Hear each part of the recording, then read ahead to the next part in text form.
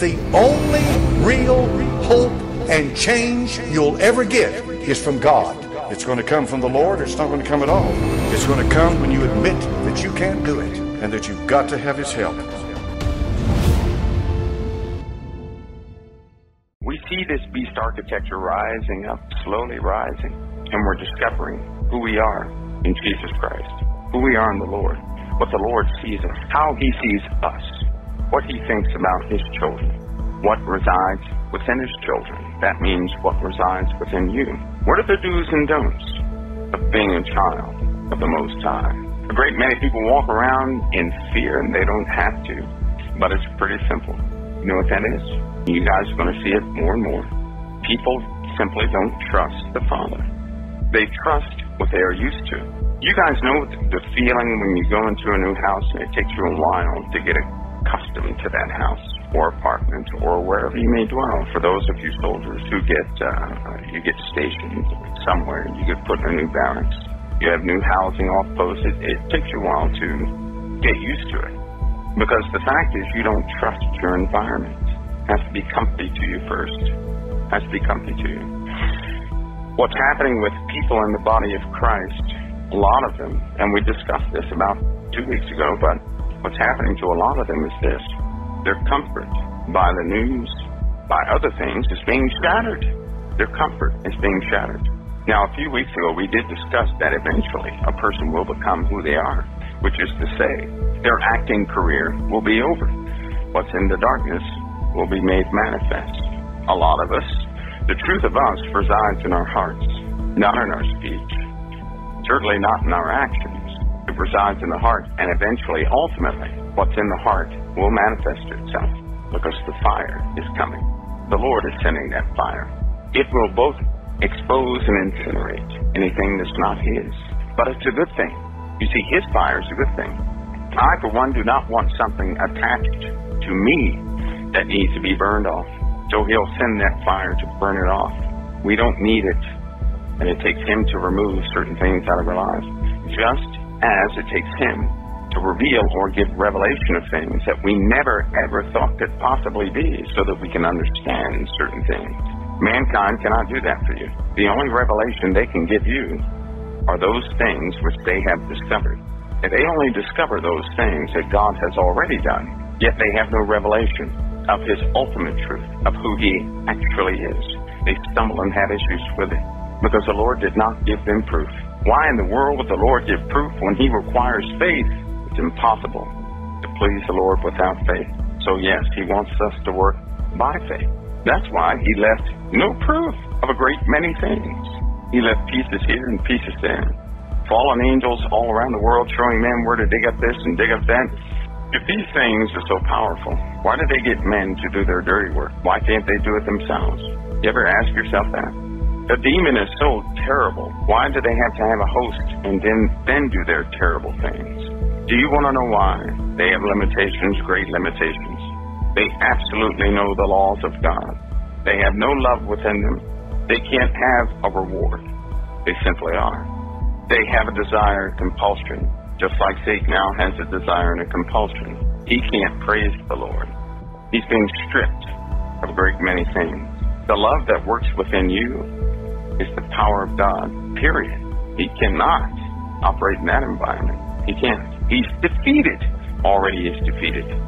You need to know that prior to this beast system architecture being exposed to. Tonight we're going to talk about certain delusions. You know, you guys heard that uh, saying, strong delusion. It's going to be a strong delusion sent to you. You want to hear something. That delusion is already established. Now that's a challenging thing, isn't it? Do you know how many people occupy that delusion? Right now, great many of them, they occupy that delusion. There's a purpose and a reason for that delusion.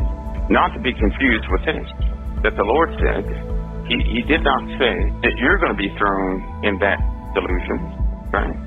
He didn't say that. That delusion serves a purpose. The filtering process is to draw men out into it. They will be damned because of it, because it exposes the true nature of a heart. And there are two seeds in this world those seeds of the living God and a seed of Satan. Two seeds exist simultaneously in this world. There are people of Satan that walk around just like you and I do. And there are people of God with the seed of love within them. The seed of the Father, its origins are from the Father. But the other seeds have an appearance of goodness. They are in fact the seed of Satan. They were raised just like you were. They function a little differently. They can't bring themselves to believe as you believe. They can't bring themselves to be as compassionate as you can be compassionate. They can't bring themselves to accept the gospel of Jesus Christ. Other than that, there's little distinction at the moment. They're out there. All of us probably know quite a few of them. They're out there. To understand them and their function, you have to understand the beast's architecture. You have to understand it. Listen, there's a scripture that says, No seed of God will remain in the world, in this world. None. No seed of God's going to remain serving this world, but will in fact return to the Father in their hearts and truth. Before they ever go to Him, they will return back to Him. They'll turn back to Him. We need to discuss these two seeds. Most importantly, you need to know some of the do's and don'ts, exactly who they are. Someone just asked, Can they be saved? Can Satan be saved? Can a demon be saved? You see, these things, hundreds of thousands, millions, trillions of years old. We don't know how old they are, but they're ancient. They were made eternal, the fallen word. They were not made like you and I. They were made eternal, much like you would make a keyboard for a computer. Well, if the keyboard stops functioning as a keyboard, what do you do with it? What do you do with a broken keyboard? You replace it. What do you do with the old one? You throw it away. They're not made like you and I. But if you buy a hamster, and the hamster's not acting right, what do you do? You take to a vet because it's sick. You're right? They're not made like you and I. They were made eternal. They were made for a purpose. They had all, they had knowledge that you couldn't possibly imagine. They were made for a purpose. They're not made like you and I. They were made with specifics. Okay, now in this beast system, listen, Revelation 3, 4. Well, let's go back because we're discussing simply the beast architecture. Listen to this. Revelation 13, 1. And I stood upon the sands of the sea, and saw a beast rise up out of the sea. We're not reading the whole 13, uh, chapter 13 of Revelation. Having seven heads, ten horns, and upon his horns ten crowns, and upon his heads the names of blasphemy. And the beast which I saw was like unto a leopard. His feet were as the feet of a bear, and his mouth were as the mouth of a lion. And the dragon gave him his power, seat, and great authority. And I saw one of his heads, as it were wounded to death, and his deadly wound was healed. And all the world wondered after the beast. And they worshipped the dragon, which gave power unto the beast. And they worshipped the beast, saying, Who is like unto the beast, who is able to make war with him? Listen, these folks worshipped the beast. They worshipped him. They were loyal to him. They worshipped him. But here's the key. It says in Revelation 13, 8, And all that dwell upon the earth shall worship him whose names are not written in the book of life of the Lamb slain from the foundation of the world. Did you read that? Slain from the foundation of the world? Let me say it again. Slain from the foundation of the world? Slain from the foundations of the world. In other words, it was already decided. And if it was already decided as it was explained here, then you were already decided upon. Do you understand that? The Lord declared the end by the beginning. That goes for you too. You are His prized child. He nurtures you. He allows you to explore and bump your head. He comforts you and brings you back. He does not want you lost. He's not going to lose you. Someone asked, Can a seed of Satan be saved? It's too late for them. You see, a seed of the serpent, Satan's seeds, are very different than you are. There's a capacity for things they don't have. Their origins, very different than yours. In fact, they are sneaky. There are people who have ancient knowledge and they are very sneaky. They act as though they don't have the knowledge that they really do have. These folks have ancient things within them. They are mingled in amongst you to make you hurt yourself. They can't hurt you directly. They want you to hurt yourself. They want you to turn away from the faith. Their sole purpose in life is to serve that purpose, to turn you against the Almighty God. That's their purpose. And but the sad part is, they're going to prosper for a great many of us because many will fall away from the faith. No one just automatically falls away from the faith. You're challenged with something. But your name, if it's written in the Lamb's Book of Life, and if you continue to reach for Jesus Christ, enduring until the end, your Redeemer shall come for you. You endure until the end. But there are some who are not going to endure because they never could accept Jesus Christ in his fullness. They knew of him, but they couldn't accept him. All of this is part of the beast architecture. to make you stumble in the worst way. The architecture is the, the, the plan, the piece of paper. The architecture would be the foundations of the system are on earth right now. Foundations are. They want you to stumble. And anyone who does not understand who they are is in danger. They don't understand who they are. You see, the Lord said that if it were possible, the very elect would be deceived. That's not to be confused with the delusion. The Lord's going to give some over to a, reason that they may believe a lie. Why does He want them to believe a lie and be given over to that delusion? That they all might be damned. That has nothing to do with the deception of the very elect. You see, those who accept the mark of the beast are nowhere close to near the very elect. They're not. If your name is written in the Lamb's Book of Life, you will not accept the mark of the beast. Period. Do you know why you won't accept the mark of the beast? If your name is within the Lamb's Book of Life, your Father's eyes are continually upon you. He will dispatch what He needs to dispatch to keep you. If you could see the activity around you that is good from the Father, you wouldn't have a worry in the world. But it requires faith for you to endure until the end. That's why you can't see what's going on around you. You wouldn't need faith if you saw your own protection would you. But you need to understand who you are. Half the troubles you go through in your life right now, not in the past. Everything in your past was made for the good of who you are now. It's made for the good of who you are. All things work together for the good of them that love the Lord who are called according to his purpose. Which means even your worst days in the past are for your good. See, you wouldn't be as strong as you are had you not endured the pain of your life. And listen to me, that pain was against what? Your flesh, your ego, your pride, your earthly dreams, your earthly aspirations. It made you strong. And then what is the Lord doing? He's giving you a new vision, a new hope, a new way in Him. You are, in fact, a new creature. And Satan still, he, he tries, but now you can see the distance between yourself and him because you're above the age of accountability now. Back to the architecture. This is going to get really strange tonight. It's important that you know currently we see that one system is being dissolved and another one is being exposed. All political arguments are being formed to support the necessity for new governance and new governing methodologies. They're doing this on purpose, by the way. They're doing this so that when you even look and it's worked, because some of you will look at CNN and you get disgusted. Some of you look at Fox and you get disgusted. You can't see it. Some of you look at MSNBC and you you you just get disgusted. What they did was they broke your confidence. A certain type of person, they broke your confidence from it. Here's the funny part. Now, hear me out. We're going to speak real. Your confidence is broke in mainstream media but for some of us, we still cannot hear the voice of the Lord enough. So we search out mainstream media on the internet, not alternative media, mainstream media on the internet. Why? Because it all comes down to trust. It comes down to trust, trusting the Lord. Now, someone may say, well, I trust the Lord. Really? So you never complain about anything? Not me, not one thing do you complain about. Not one thing do you worry about.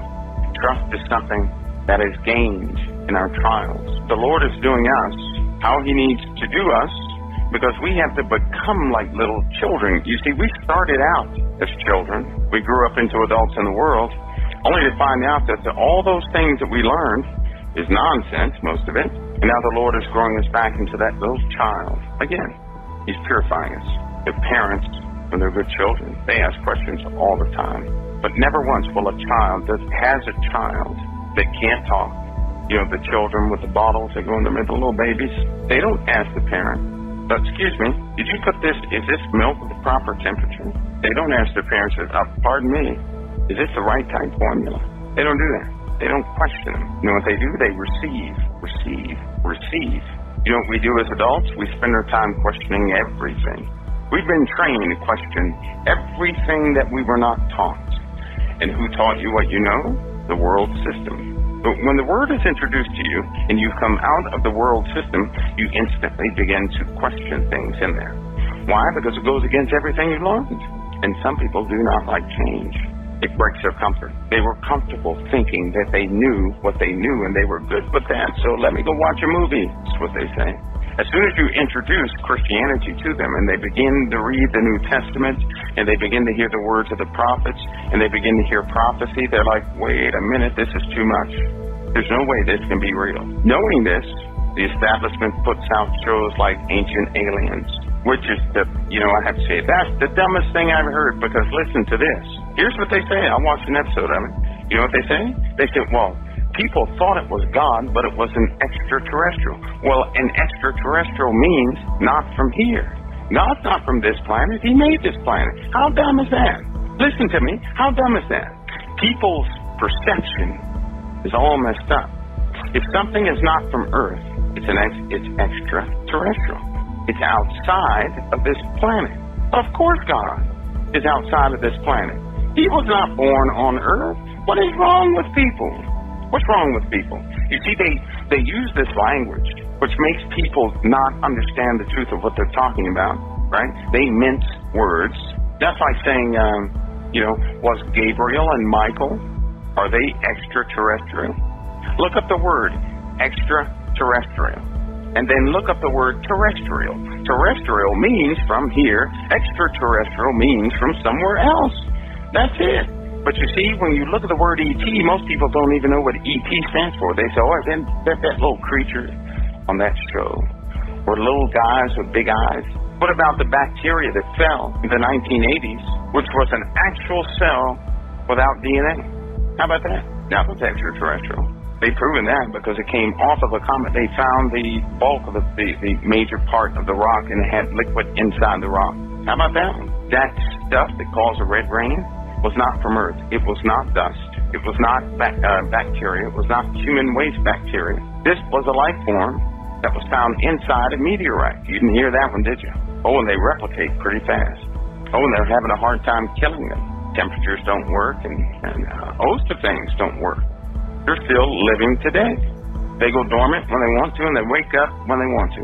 You see how things work? But the Lord told us that He would there would be signs in the heavens, blood, fire, and pillars of smoke. That's what He said. Blood, fire, and pillars of smoke. You know, a lot of people read that scripture and it just, you know, they just read it. By the way, I believe that's Joel two thirty. Let's go there. And I will show wonders in the heavens and in the earth, blood, and fire and pillars of smoke. Now, listen to this premise. If the end is determined by the beginning, we better find out how the Lord works in things. We need to review what happened to Egypt upon the deliverance of his people because in the end, what is he doing? He's delivering his people. Finally, for all time, he's delivering his people. All of his children will be delivered. That's why this time, the signs and wonders that will be shown in the earth will be massive. Egypt will be a dot on a piece of paper compared to what's going to happen. Now, when I read this verse in Joel 30, Joel uh, 2, verse 30, and I will show wonders in the heavens and in the earth, blood and fire and pillars of smoke. Now, that sentence, the way it's formulated, goes together. It's full of, uh, it, it has a clause in there. He defined the wonders in the heavens and in the earth. Now, do you know what a pillar of smoke is? If it's a wonder, Normally, when he says, I will show wonders, it's something that mankind did not do. Now, they have an issue, they have a problem with this non DNA type substance turning the rain red coming from meteorites. By the way, they have not stopped exploding all over the place. There's a problem. I'm not talking about uh, algae blooms either. We know what the fire and the pillars of smoke, we know what that is. Normally, you see a pillar of smoke after what? a volcanic eruption. He said pillars, plural, of smoke. Volcanic eruption. Fire, of course, during an ejection, rocks, molten uh, rocks, very hot rocks, can go up thousands of feet, land back into yards, houses, and everything else, and begin to burn things up. We know that volcanism is coming. And the Lord said in those days, now listen, all this stuff you do not have to worry about. Do you not know that all these things that are going to happen to the earth are for your benefit, not for your destruction? That's something you need to know. Stop getting scared when you hear prophecy. I can't stress that enough that you need to know the prophecies, but you need to know them by the precepts of God, not the precepts of men. It these things are not coming to destroy you. They're coming for you. It is a, it is your final deliverance. Do you think Egypt underwent all it went through? By the way, when the plagues and things hit Egypt, where were the Hebrews? Weren't they in Egypt? They were not let out of captivity then. Did it touch any of them? No, it did not. Do you understand that? These plagues were in Egypt when God's people were there, but did it touch them? No, it didn't. It didn't touch them. How many people knew that? How many people considered they were right in the middle of it? When the plagues hit Egypt, all those things were for the deliverance of God's people. Now, was it scary to them looking at it? Yes, it was. You can see it for yourself. Go back and study and read it. You can see it for yourself. It was a little, you know, scary for them. But the Lord put things in place far before it happened. He sent Moses, which was the leadership. Aaron, which then talked to the people. He sent leadership to them. He kept telling them they're going to be delivered. You know, that same process is happening now. It's happening now. You see, before, I noticed, when they began to talk about deliverance prior to Moses, they gave up on it. Do you know they gave up on the deliverance idea? Listen to me, they gave up on the deliverance idea prior to Moses. They gave up. Their conversation was different. And so when Moses came talking and speaking about deliverance, it was almost laughable to them. What do we see happening now? You hear ministers saying, Jesus is coming, get ready. And what do you have some people doing? They're laughing. They're laughing because people have said this in the past, but in the past they were not able to observe global events. You see, because the scriptures are very clear. You will see this, you will see that. You will hear of this, you will hear that. The only way you can see and both hear simultaneously is with instant communication. They didn't have that back then. Davy Crockett, Paul Revere, and all those guys, they couldn't get a letter fast enough back in those days, so it was not going to happen because one side of the world did not know what was happening in the other side of the world. And if they didn't know that, the gospel was not published throughout all the world. It has to be published to all nations throughout all the world. They couldn't have it back then. Israel was not a nation back then. And it all turns back to Israel. How many know that once the beast architecture is set up and the beast is on the scene, how many will understand the timing then? You see, the timing leads back to Israel anyway, regardless. Always. It goes right back to Israel again. What are we looking for? The great falling away. If you want to know your time in prophecy, you need to gauge the great falling away. Which means we're going to notice. Listen to me. We're going to notice a great falling away first. A great falling away will be noticed by us. We are such a privileged generation. We're a privileged generation because we're operating in a world with high deception, yet we still operate. We're operating in a world where people are giving up on the faith in Jesus Christ, yet we still have our faith. And when the Lord does come, we're going to be the ones to point and say, that's who I waited for. You see, the world cannot do that. They can't say that's who I waited for. You can say that's who I waited for. In fact, that same scripture is in the Bible about those folks. And they will point and say that's who I waited for. Some people have lost focus. It's so difficult to do. Listen, I'm going to tell you something. Difficulty is something I operate in every single day. You don't get used to difficulty. You overcome it, and it no longer is difficulty. Something else. It's certainly not difficulty. Difficult is when you stick your hand through a circle in a door and you can't get it back out. That's difficult. You're by no means trapped. Nothing is impossible for you. But people have the terminology of things they have been programmed to think a specific way. Terms like, well, you know, I I, I love the Lord and all, but uh, this is reality. You know what? Terms like that are just blasphemous in nature. That is a, that is equivalent to saying this. I I believe in God, but right now He's not what I need. Excuse me? That's what the equivalency is. You're saying you don't need God in your life when you do those things like that. I say stand up stronger and push harder and see the deliverance of the Lord in your life. You want to see it anyway. You want to have that victory. You want to see the deliverance. Well, get up and push. You have power over the enemy. You can walk in this earth and tread upon scorpions and serpents. They have no venom toward you. You know what? In my tiny mind, those serpents and those scorpions are the people you face in your life. Those are the people. You know why? Because people, they do what? They speak. You know what words are from a lot of people? It's venom. You can hear certain words and they can make you sick. You can hear certain words and it can ruin your entire day. That's venom. You can hear certain words and it will make you stop doing everything you're doing and you just want to sit there and die. That's venom.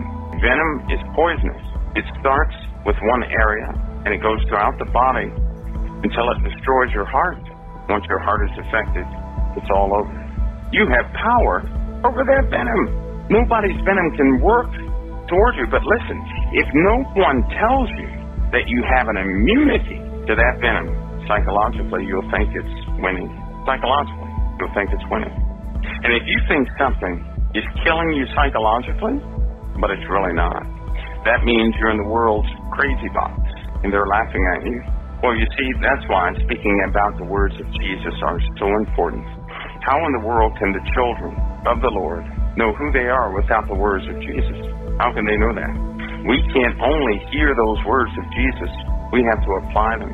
Meditate on them day and night. Think about them because you're much more than what you think you are. I don't say that to build up pride, but to lift up everybody who's a child of God. But why? Because it's the truth. Jesus spoke those words. Those are not my words. They're not your words. They're the words of Jesus Christ. And it gets better. Don't succumb to the venom of this world. You're an overcomer. You have the power within you to overcome these things. Psychologically, I'm telling you the problem. Due to the beast architecture being laid out over many, many, many, many years, all of us, all of us have been exposed to it. That architecture within itself is a poison. It operates very slowly, very thorough in how it works. But the power of salvation and the blood of the Lamb breaks it. You see, you overcome the devil by the blood of the Lamb and the word of your testimony. The blood of the Lamb does the salvation part. It really saves you. The word of your testimony makes your armor so hard Satan can't get through it. The word of your testimony, the word of your testimony, is your encouragement. Listen, I'm gonna be let's be honest how often do we sit down and really think of how we came to the Lord in the first place? How often do we think prior to coming to the Lord how rotten we were? And yet, we did come to the Lord, and yet we felt the love He had towards us. He sent us teachers. He sent us people that encouraged us. He did formulate situations in our lives to elevate us. He did do these things. He did. How often do we think about that? What is the word of your testimony? What is what's that story? You know what? Even the Israelites were encouraged to remember. In fact, they do it today. Some their holidays are designed so that they can never forget. But you know what? We won't do it. We won't do it. We will not remind ourselves how we came to Jesus Christ, our condition prior to that. Why? Because it builds your faith. Don't forget how He delivers you. Why? Because that builds your faith. I'm telling you what I know. You forget how He delivered you, you'll have problems in knowing that you're going to be delivered the next time. He sends you through trials and tribulations. You're given the word precept upon precept, line upon line, so that your faith is increased over time. Your patience is worked. Every time I get in hard spot, when I'm in this crunch of decision making, I just begin to reflect on what the Lord already did for me. And you know what that does? It defeats the words of Satan. You take captive your thoughts. And if the Lord told us take captive your thoughts, then something is wrong with our very thoughts. Satan can creep into your thoughts. He can mess with your hearing. He can do everything as part of the beast architecture.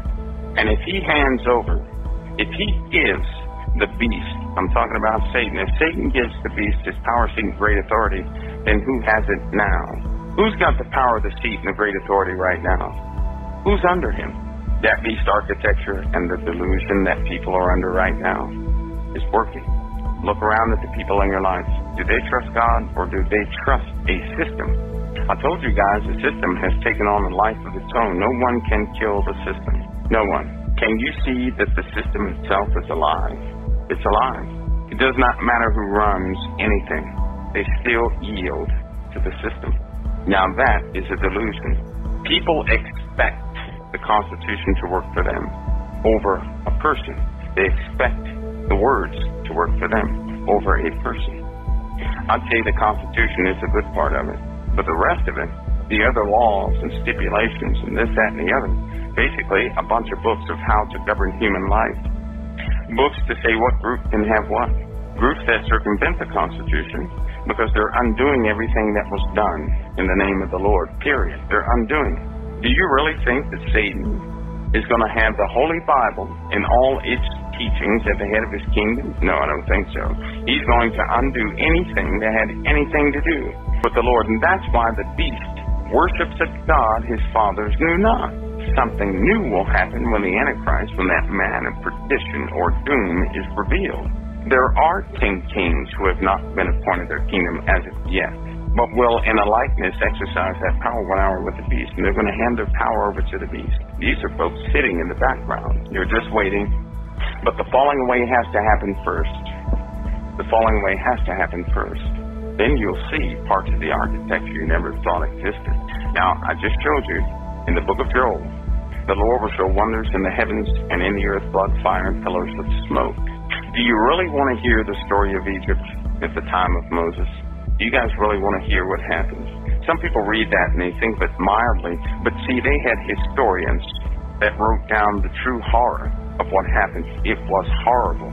Egypt was horrible you, you, you guys ever hear this talk about the destroyer of worlds that comes, the destroyer of worlds that everybody in Egypt saw, that China saw, that people in the provinces around this place they did see? Do you know that at the time Egypt was destroyed? Now, hear me out. At that very same time, Egypt underwent those things.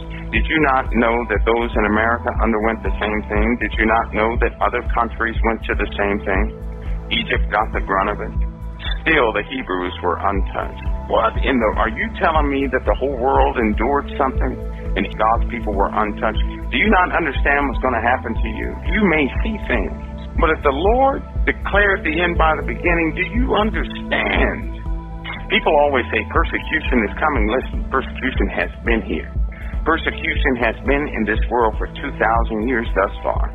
Since Jesus was resurrected, persecution has been. Do you not know what happened after Jesus left this earth? It was a time like no other. People were being burned at the stake, hung upside down, killed. Martyrs were all over the place. Those who believed in Jesus Christ, there are stories about people who would preach, and right after they finished, their heads were chopped off instantly. Not everybody, but some of them. People were killed. An entire race was almost wiped out. It was horrible. It was horrible in Egypt. Let me give you an example. There's some recorded documents of what happened in Egypt, and even Moses was mentioned. You know, people can't help but to write down history. Have you guys noticed that? If it's one thing they're going to do, they're going to document it day by day exactly what happened. And the one that is trusted in their documentation, their records are kept for another generation. As if the Lord said, this is going to be saved as a witness of what's going to happen again. They saw a destroyer coming toward the earth. You know what it looked like? It looked like a black hole with two dragons or serpents swimming around it. It was not absolutely circular. It always moved and slithered. When it came closer to the earth, dust began to form on the earth that was red. It started killing things, and, and flies began to multiply, and maggots.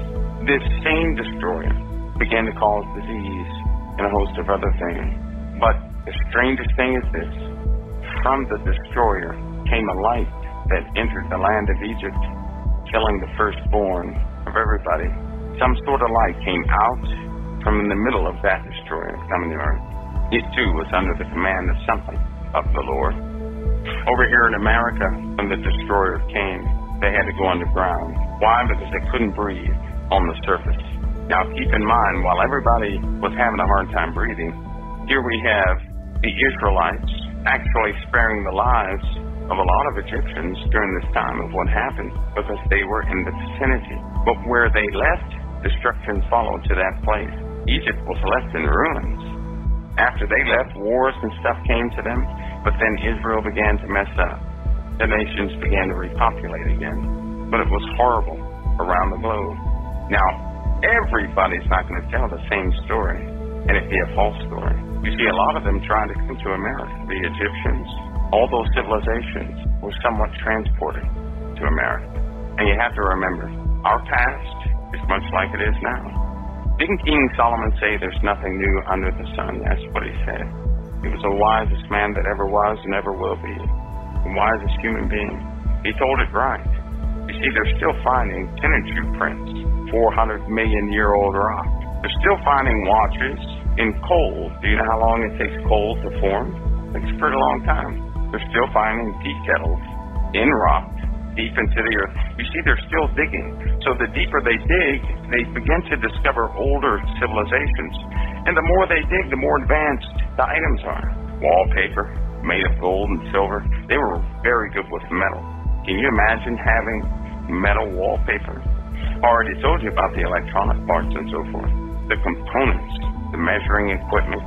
I'm not talking about things like the uh, the uh, the Greeks, what the Greeks had. I'm talking about things that look like modern day components. You know why? Because the same fallen angels who had the same knowledge fell back then, and they're doing the same thing right now. The technology boost happened actually in the 30s. The technology boost also happened back then. You know, there are stories that were written a long time ago of nuclear wars. There's so many things they lied about from history because they want you to never know that anything God actually allowed to be written in the Holy Bible is true. And if you knew the facts, you would not question the Word of God, but you would stand up as a child of God. The only reason we don't stand up is pure and simple. We doubt the Word of God. We doubt Him. If you knew for a fact you were a child of the Most High, you would stand up on your feet. The whole world lost because Gabriel and Michael were commanded to destroy everything on the earth. This was prior to the flood. They were commanded to destroy those things that fallen angels had built. And you know what they did? They cast meteors to the earth. That's written. That's documented. But they lie so much. Have you noticed this? They're, they're very sneaky in how they present information. Listen to me. A long time ago, those of you who are beyond the age of, of, of 45, you know what I'm talking about. And um, when we went to school, we learned a specific history. Well, the history now is very different. Some of you have grandchildren, and if you read their history books, you'd say, "What is this?" You know, you should be nosy. If you, if you if you can read your grandchild's book on history, you need to you, you need to read it. Some people find out, well, I can't even tell my grandchild anything I thought I knew because in this book it's saying something totally different. The emphasis has changed. Why? Because they're covering up the mistakes they had in the past, but they never ever want to admit it. So they just slide in a new story for the new generation so that they believe in something that will perpetuate the world they're trying to create. What you've been taught, you have been taught so you can psychologically be conditioned to live within a system. What is that system? The beast system. You've been taught that way, to believe a specific way. Look at the children now. Are they being taught morals? Most of their education centers around accepting species fairly. See, we were taught to accept, or or they attempted to teach us to accept, accept every, you know, your your human race equally. They they began to teach us this thing called equality because that's when the racism began to die off, and they had to change everything because of civil rights and this, that, and the other. Well, see, now they're teaching these new kids to accept all species or you won't believe the books that are supposed to come out next year. The mindset of them is this. If you had, think of this, your computer is programmed to accomplish tasks, right? If it can't accomplish the tasks you need for your personal future vision, you're going to go get one that will. They train children the same way. They're training children both in history and technology and the sciences and everything else to serve a future vision. And believe me, it goes through a giant thought process. They know these young kids will spend at least 10 years in school. Then they want these kids to contribute to the system. You see, they can't build the system themselves. They need a kingdom. A kingdom must have servants. A kingdom must have subjects, or it wouldn't be a kingdom. So they need the, they need the population to think two things. Number one, they need the population to think that they're free. I'll get into that in a minute. They need them to think that they're free and that there is no system. And they need only a fraction of something they hope for to make them believe that they can get anything they hope for. The part about them believing that they are free, that is another part of the delusion. You see, people are going to accept the mark and they're not going to feel they're bound by anything. They're going to believe they too are free. And I'm, I'm attempting to tell you all this, hopefully, that you may see it in a different light. A light that will help you make better decisions based on the teachings of Jesus Christ when that time comes. Something that will build your faith so that you are aware beforehand. When you see it unfold, precisely as the word tells you, your confidence is going to go up. Listen, they want you to think you're free. So here's how they do that. They raise you with education to support the system. By the time you spend five years in school, it takes five years of education to cause a person to love the system. That's what it does. Now, between five and up, you refine the thought process. All of it is psychological preparation for adulthood.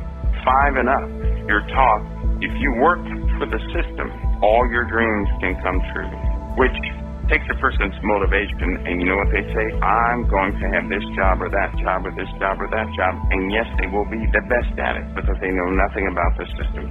One of the most important jobs for education is to teach everybody there is no system. That's foolishness. There is no there is no system. That's foolishness.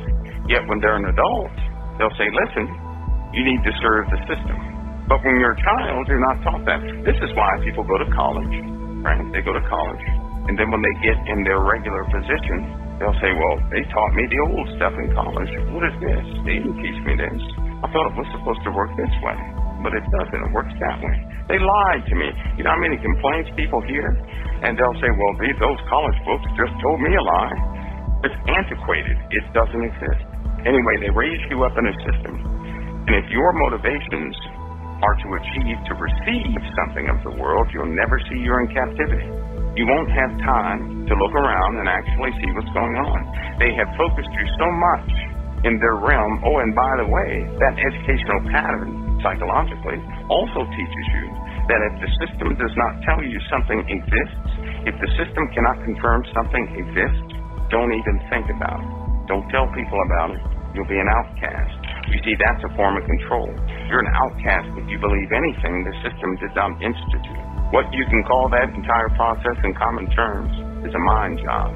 Why do you think people dispute and have a hard time believing what Jesus said? Because the world has taught them that all that stuff is nonsense. All of it's nonsense.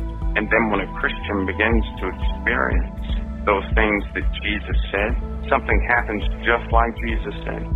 Some people are overtaken by the cares of this life, the riches of this life, the pride of this life, and the word is choked out of them. Some people receive the word happily. To them it's choked out too. Some people have no root. They have no root. They hear it, they go away like they never heard it before. goes in one ear and out the other. If we would take the words of Jesus Christ and meditate on those words and apply them to our lives, you would understand first you are in fact a child of the Most High you would also understand that the Most High is the creator of all things. Then you would begin to see that nothing can exist, nothing can ever happen without the Creator's express permission. You would also understand that your trials and tribulations are not for your destruction, but they are for you. You would also understand the events of the end and the prophecies are also for your ultimate deliverance.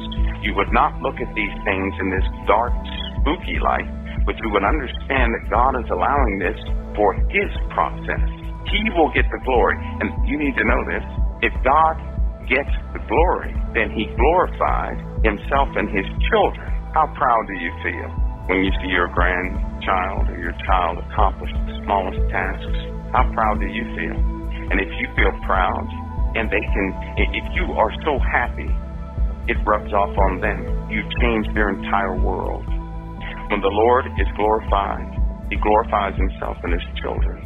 Listen, you mean everything to your Creator. It's time that people stop listening to Satan's words. Satan is the limitation nut. That's what he does. Anything you learn in the Word, he'll send somebody to put limitations on that Word. If the Lord says you can do something, he'll put stipulations on it. If the Lord said have faith, Satan will say it didn't work for you in the past. Stop listening to Satan take captive your thoughts. You need to establish it in your hearts and know it's for real that the Lord's never going to leave you nor forsake you, and that everything you've ever gone through in your life is for you. Is for you. To God be the glory, but you're the vessel in which that glory moves. If you don't know who you are, how can you stand for anything? If you're walking around with an identity crisis, and see what we're trying, what we're, what I'm attempting to do is simply to share with you some things that I have direct knowledge of. One thing I have direct knowledge of, one thing I'll continue to walk in until the Lord takes me away from here, is that He is my Father. I am redeemed of the Lamb. I will endure until the end. My Redeemer is coming. If I happen to go first before He comes, I go to be with Him. I, you see, I'm not worried about the common things mankind is worried with. I'm not. I've felt pain, massive pain. I know what pain feels like. In fact, I know what pain feels like for two years in a row straight without a break. I know what that feels like.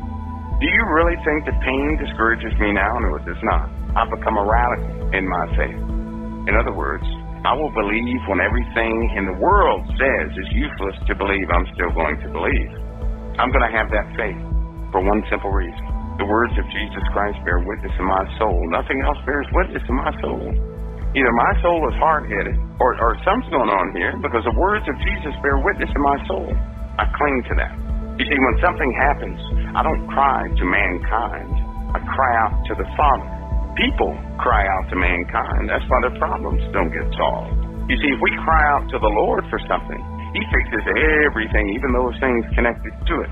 He'll also fix those things you never thought existed that could potentially get in the way. He doesn't just fix one thing, He fixes everything connected to that one thing. And He heals it from the root. From the inside out, mankind cannot do that. I trust Him. Do I worry sometimes? Yes, I'll start to worry sometimes. You know what I'll do? I'll pull a David on my soul. What is your problem, soul? I'll start flipping through scriptures. I'll find things I can consult His Word. I'm not going to a, a, a psychiatrist one of their books, right? Open it up and say, let me see. How do you calm yourself down? Let's see, step one. No, I'm not doing that. How to calm yourself down. This flesh is under my subjection. The Lord made it that way. He said, die to your flesh daily. And that's exactly what I attempt to do by feeding the spirit and not the flesh. In fact, when my flesh wants something, that's when I say, no, you can't have it. That's why fasting is good. You learn to overcome the flesh. But most people, when the flesh starts to cut up, they have to stop everything they're doing. All their kindness goes away. All thoughts of the Father go away. And they try to appease the flesh at that moment. Well, when my flesh really desires something, I say, nope. You see, I believe in the Father. I should have PTSD times 20 right now, but I do not. When you put your flesh under subjection, first of all, you got to believe it. You have to read it for yourself that you're empowered to do that. You have to know that you can, you're an overcomer. You have to understand what trials and tribulations are. You have to understand that you have to be a victim before you're a victor. You have to understand that you're stuck before you can be free. You have to understand these things, and the trials and tribulations sent in your life were established for that reason. What have we done to most of them? As soon as we get into one, we don't want to learn it. We want to get out of it. Because we didn't understand that God's in control of all things. We didn't read Job enough. We didn't analyze things enough. We didn't meditate in His Word day enough. And so we couldn't see it. And we didn't let the process complete itself. And so we never knew that we could be a victor in the end. And when you squirm out of a trial or tribulation, when you continually do that, you're, you're conveying that your heart is set against going through it in the first place. That means you're not going to perceive the victory at the end, so it's useless for you to continue in that. Your perception is everything. If you're not going to perceive something as a blessing, you probably won't get it. That's why blank prayers are not good. You know those prayers you pray about? And someone says, Oh, I like that prayer you said yesterday. And you say, What prayer? You know, that kind of thing. No expectation for the answer to that prayer. However, when it touches you deeply in your heart and you do pray about something, you will not leave the Lord alone until it's done. That's a real prayer. Certainly when it has nothing to do with you. Absolutely when it's inconvenient for you to do it. And you won't leave Him alone until that prayer is answered for someone else, not yourself, then something wonderful happens. Not only is that other person delivered in some kind of way, or gets the victory, or overcomes something, or is healed, or recovers, but you something has worked out in your life as well. Not only is something worked out in your life after the other person is delivered or overcomes something, something of that nature, but then something changes internally within you because that person will normally tell you, hey, I'm, I'm to thank you for that prayer. You can be overwhelmed with joy if you change your perception to faith works. If you can understand that these kingdoms of this world, who's really who, who's operating in them, if you understand that scripture about not wrestling with the flesh, you need to read the whole scripture, by the way. Wickedness in high places. I mean, it just spells out to you what you're dealing with. If you can understand that when Jesus was being tempted, Satan showed him the kingdoms of the earth. Now, how can he tempt the Son of God, who knows all truth? How can he tempt him with a lie? That means Satan wasn't lying. He tried to make Jesus corrupt himself to go against the Word of God. If you're loyal to these kingdoms of the earth, if your treasure is stored in these kingdoms of the earth, your treasure is going to burn up with it. But see, your heart is the truth of you. And one day, every, this is what's happening right now. People can't act anymore. You see, it's gone beyond just entertaining someone. And it's turning real. And they're saying, well, I can't be that. And being your true self surfaces. See, for a long time, even things like this were partially based in entertainment, for entertainment. Well, guess what? The entertainment era is over. Things are becoming serious. You know what people are doing? They're saying, well, I'm, I'm just not going to be like that. I'm going to let them know what's in my heart. And when that happens, and when they begin to become what they are in their heart, they're exposed for what they really are.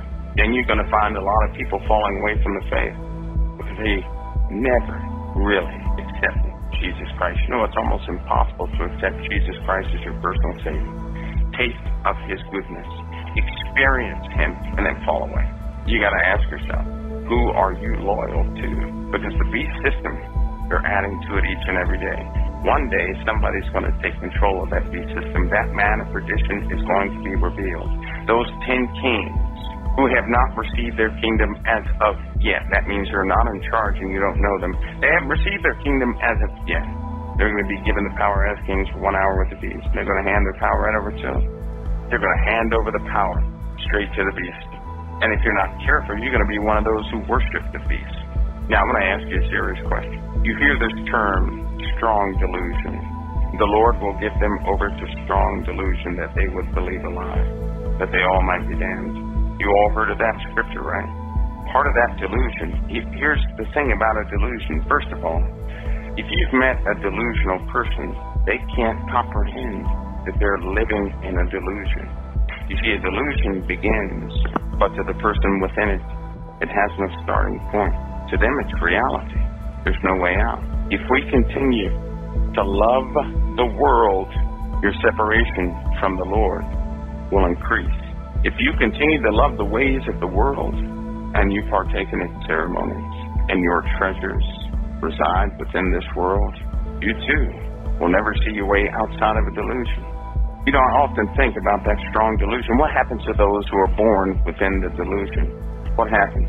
It's not going to be an overnight delusion. Delusions, they don't work like that.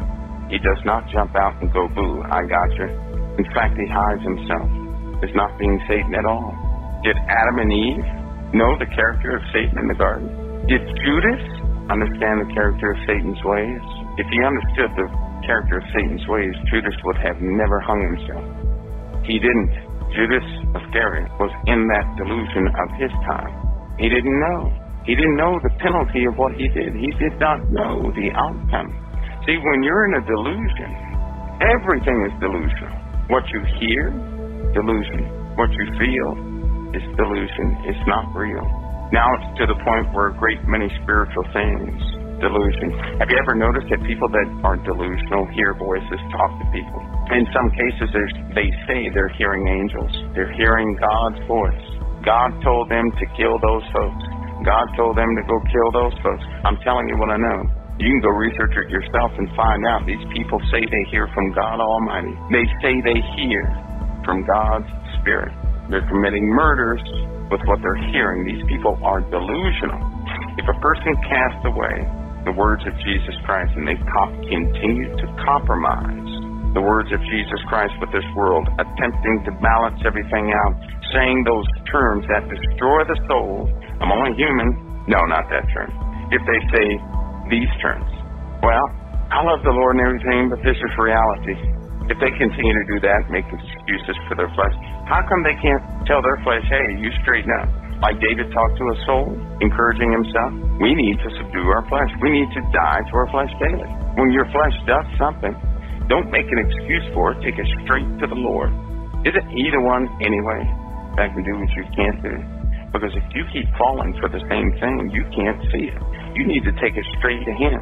The delusion is here. It's been working. You guys would not understand or believe what the crime rate is. People in a delusion you see a false world. The world they see is not real.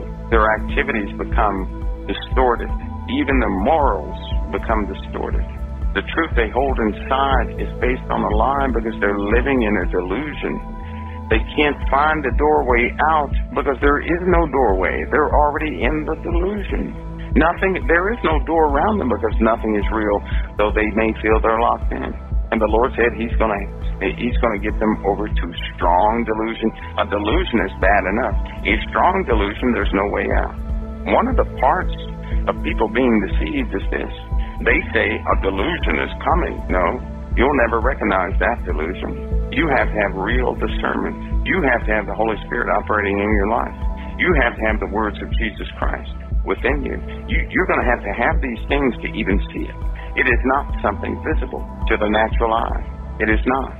It's made manifest by the truth of Jesus Christ. It's made manifest, which is to say, you can see it because it will be contrary to what Jesus said. You see, you have some people that say they speak by the Spirit and they say the opposite of what Jesus Christ said. Now, what is that? What is that? If somebody speaks the opposite of what Jesus Christ says, they speak against the words of Jesus Christ. What are they in? They're in a delusion because they really think they're speaking truth. But the words that they speak are against what Jesus Christ spoke. And and we have the warning. If anybody comes to you with any doctrine other than that which Jesus Christ taught, no matter who it is, what angel it get away from them. We had that warning. We also knew that they were coming. These folks are sitting in a delusion. They're in the delusion. If you are delusional, you believe in your cause. And if you're in a delusion, there's a power that they possess. You know what that is? Their words can draw other people into their delusion, but they speak against the words of Jesus Christ.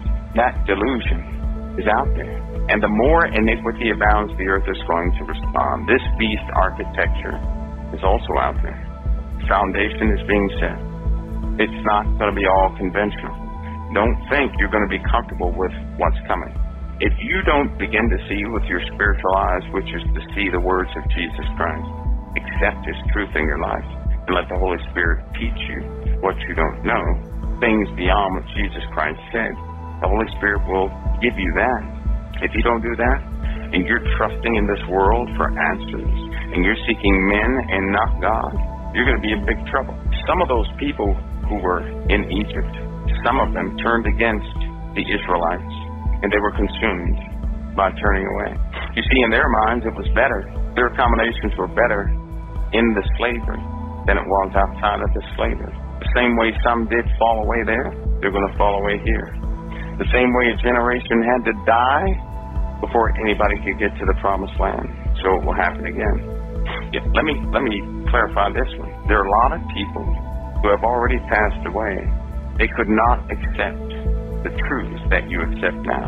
They did not have the mental capacity to accept the precepts that are being revealed now. They could not accept the revelation being given now. They couldn't accept it.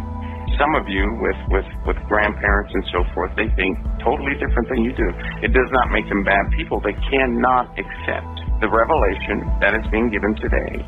They can't do it.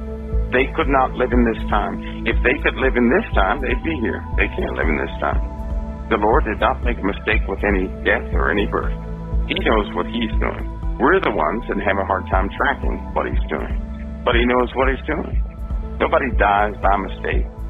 Nobody's born by mistake. Everything is for a purpose and a cause. We don't know those purposes and causes all the time because sometimes it looks terrible. He still didn't make a mistake. But a generation is leaving. Now, where's that leave us? Even some of us in this generation we can't take what we see coming. Because knowing was sweet in our mouth, wasn't it? To see it, bitterness in your belly. You all should understand these things are not against you, but are in fact for your deliverance. If you can understand that, we can get into the meat of the matter. But you really have to know who you are, how the Lord works in deliverance, and of course, this ultimate deliverance. You're not the average, ordinary individual. You should know this by now with yourselves. By the way, your your your colleagues and and your uh, acquaintances and family and so forth look at you. You're a peculiar people, grafted into the branch, born at a very specific time with a very specific set of talents and passions, fine tuned and being fine tuned so that you can walk into your destiny. And you know what I saw, Michael, when you said we have to um, take it? I see it a different way. You know what it is? You see, I don't have to take it. I'm simply going to endure until the end. I'm going all, it's in my mind to go all the way. See, I don't have it in my mind to go halfway. And I think that's what you're talking about. We have to take it. We really do have to take it. But I like the term, I'm going to endure until the end. I will strive until I just can't simply, until my eyes shut and the oxygen stops flowing. How about that? That's what my mind is set on. And you see, I'll tell you this if you have a strong enough purpose, if you have that strong hope in your heart, if you can recognize that your brothers and sisters are at battle right now, your strength, which will come from the Lord, will be sufficient so that you can walk into your destiny. You will endure until the end. But we have to make our minds up now, not tomorrow. We have to make it up. We have to make it up now. We have to choose this day whom we will serve. We have to do this every day, all the time. With every decision you make, you need to determine is this actually serving my Father in some sort of capacity? And if you don't know, go find it. Go look it up. Be nosy. I encourage you to be nosy with the words of God. Be nosy. And if you can't find it in the Bible, pray about it. Don't let go until you get your answer. Be like Jacob. An angel said, Let me go. The day is breaking. He said, Nope. Not until I I'm not letting you go until I get my blessing. He said, I'm not gonna let you go until I get my blessing. Now if he got away with doing that, then you know the Lord, the, the Father was sitting there looking at the whole thing, as if to say, Look at my look at one of my children. That brings me glory. He harassed that angel until he got his blessing. He does believe in me. I'm guilty of harassing Father too. I, I really am. There are times when I've said, well, Lord, guess what? If this doesn't work, it's going to be your fault, not mine. I've, I've got, you know what? I really did that before. Now, I know a lot of people won't understand that. But I said, you, you know, if you do this or that, well, then they're going to say, you're not there. You don't work. You're not, uh, you're, you're far in the distance somewhere. And sure enough, listen to me, sure enough, it works out. Somehow, somehow it works out. But I'll, I'll tell them, you see, when you honestly exhaust everything that you can do, the Lord will do that supernatural thing. When you exhaust everything that you can do, the Lord shows up on the scene. If you don't exhaust everything you can do, stop looking for Him because you did not give it an honest, honest effort. Some of you folks that have that are runners, and some of you folks that are in the military on a PT test, you see people running the two mile run, right? And if they start giving up or tired, you say, go ahead, you push them a little further. Go ahead, you push them, push them, push them. But to the one where you try and push them to get him to pass PT test within a specific time limit, and they just give up, you kind of look at this individual like, oh, what a lost cause. But if they are trying and giving every effort, I'm telling you what'll happen. You'll get people who finish the PT test that are tired that will run back out there on the track and encourage this guy all the way. Help comes. When you exhaust everything that you can do, help comes. Help is coming. It's on the way. Help is on the way. We do that too.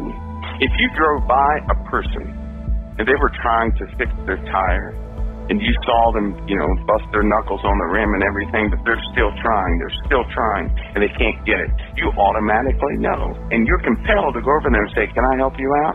But if you got another guy standing on the road and he's not putting forth any effort, he's trying to stop you and say, Can you help me with this tire? You're going to say, Oh, no, I'm late. You're going to think up every excuse in the world to get away from that guy because you know he can do it himself, but he just doesn't want to do it. You also know those situations. But when you see somebody exhaust everything they can do, you are moved with the greatest compassion. something happens on the inside of you, and you will assist that individual. You not, the Lord shows up the same way. He's already looking at you. He knows when you have exhausted everything that you can do. He also knows when you have not exhausted everything that you can do. But I'm telling you, He will show up every single time. Having done all you can do to stand. Anybody ever heard of that scripture? Having done all of what you can do to stand. See, He requires 100% of our efforts, of what He has given us the ability to do, and anything you cannot do, He'll ensure is completed. He works like that every single time. See, I love my Father in heaven. I certainly do love my Lord and Savior Jesus Christ, and I do blindly believe His word. And yes, I bug Him because I want to see it work. And then I get to see the examples. I'm going to give you a secret on something. You guys ready for this secret? Here's you can learn things in life one of two ways. You want to know what those two ways are? You can learn by revelation, or you can be sent through a tribulation. It's up to you to decide which way you want to learn. God will give us revelation, but we're hard headed. We don't listen. And then we have to go through a trial to get our certification for that specific situation. And then we say, ah, I see now. Let me tell you something. I would rather trust him wholeheartedly like a little child and learn everything by revelation, finding out something new. Your father tells you something, you say, ah, yes, I believe it. Let me apply it. But if you're one of those kids that don't believe anything your father says, he still loves you. He needs you to grow, right? He wants you to grow. He wants you to have the best that you can have, which is to make it home. Well, then you're going through tribulation, so you can experience it yourself. And after you experience it, you'll say, never go that route. That didn't work out too well. Then you know. But if he reveals something to you, I'm one of those types, I don't have to experience everything. I don't have to experience everything myself. But we can learn things one of two ways. But a lot of us are hard headed. I'm hard headed. There's, I, I told you, I have many, many lumps. I don't get too many lumps anymore. You know, when the Lord speaks in that small, still voice, right? He reveals something to you. It's never at one of those opportune times where you're ready. You know, you can be sitting there with your pen and paper and get nothing. You go to sleep and have a dream, you get everything, you're too tired, you don't want to get up and write it down, you lose it all. Now you're going to go through it. And then when you start going through it, you'll say, ah, I dreamt, I knew this was going to happen. Well, how did you know that was going to happen? Because he gave you revelation of the consequences of something, how to overcome something, and if you don't, what's going to happen? He showed you how to do it. He revealed to you how to do it. Now the situation comes, and because you didn't do it, it's hard on you. He's not going to send the situation to you that you can't overcome. He's not going to do that. The instruction comes first. The revealing comes first, and then he knows the truth of your heart. So if you did not accept it wholeheartedly, you're going through it. That will permanently seal it in your life. For some of us, some of us go through the same thing more than once. Because even when we go through the trial, we're still murmuring and complaining. Oh, and by the way, by the way, those who murmur and complain in the desert, that's tempting the Lord your God. Thou shalt not tempt the Lord thy God. They tempted the Lord their God. That's in Hebrews. That's how you tempt God, by murmuring and complaining. This premise I'm laying down is simply for identification of who you are. You're not this ordinary individual who is tossed and blown by the waves of the sea. You're not at the mercy of anything. You're like a, a, a four billion ton weight that nobody can move. But within you is the power to make yourself as light as the feather when you want to. And it's up to you if you're moved by things or not. So you started out lightweight. You're very heavy right now. Now you have that choice thing going on. Now, if you choose the wrong way, you're going to be light as a feather, blown and tossed with the wind and by the sea. You choose the Lord, His ways, His precepts, His truth. You can't be moved. You will stand. Don't let go of his hand. Consider him in everything you do. Everything you do. You know, I learn that more and more every day. You know how I learned that? About considering him in everything I do?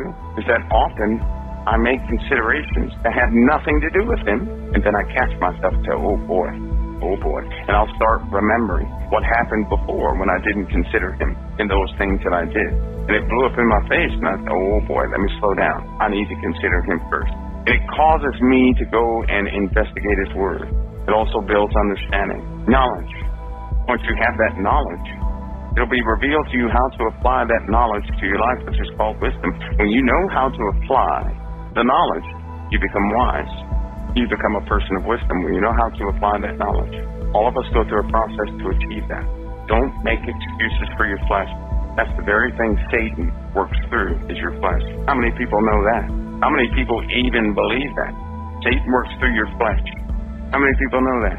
In fact, your flesh has the same traits as Satan. Without this premise, you wouldn't understand the fullness of the beast system. You wouldn't understand. You would not understand what you're up against. You see, this thing is multifaceted, certainly multidimensional. It's coming from all angles, and the only way you can be able to, to hope to survive it is with the blood of the Lamb. There's no other way for you to overcome it than by the blood of the Lamb. We see that in Scriptures. They overcame Satan by the blood of the Lamb and the word of their testimony. And they loved not their lives unto death.